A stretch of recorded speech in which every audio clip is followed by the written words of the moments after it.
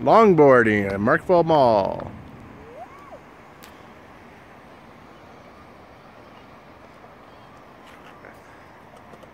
Adding a slalom to it.